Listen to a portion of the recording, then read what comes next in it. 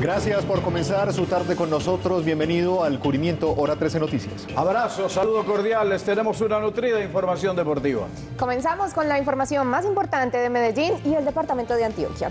Mucha atención, en un operativo de la Policía Fiscal y Aduanera fueron incautados más de 3.200 pares de zapatos de contrabando en Medellín.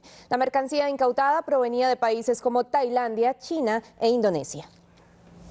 Los zapatos valdrían cerca de 130 millones de pesos y fueron incautados en 40 establecimientos de Medellín. En varias ocasiones se ha intentado hacer un operativo con otras especialidades, ellos cerraban sus puertas y no se podía hacer el operativo.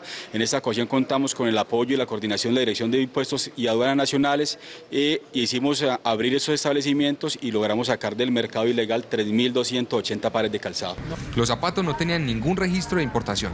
Ellos eh, tienen una parte exhibida, una pequeña parte exhibida y otra parte eh, lo, ocultan en cajones cerca a los baños, en la parte, crean unas caletas en la parte de arriba de los establecimientos para que las autoridades no ejerzan el control. Este año han incautado en 26 centros comerciales calzado, licor y confecciones de contrabando por un valor cercano a 7.500 millones de pesos.